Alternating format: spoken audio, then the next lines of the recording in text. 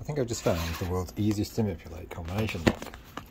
Now, I didn't even look at the instructions which are on here. I've just literally picked this up off the shelf from a collection of stuff.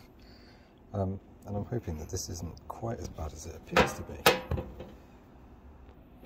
Okay, so I'm on a tripod now, so I can both hands.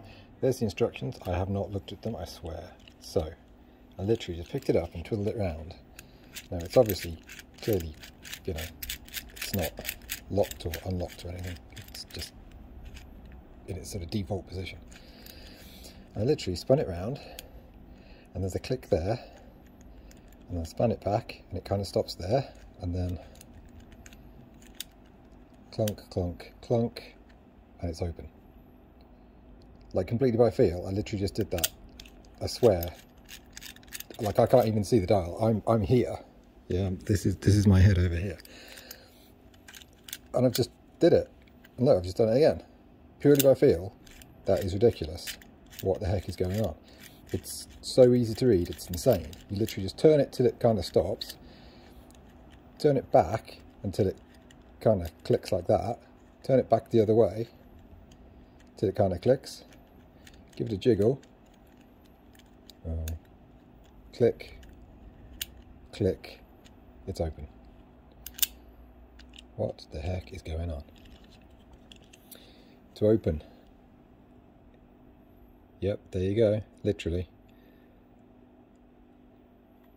Left and right, it explains there, and then it's got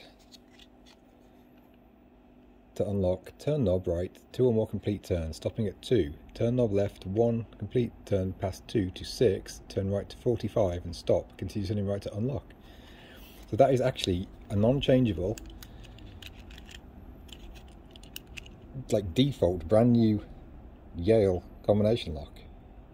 I mean, that's just so bad. It's incredible.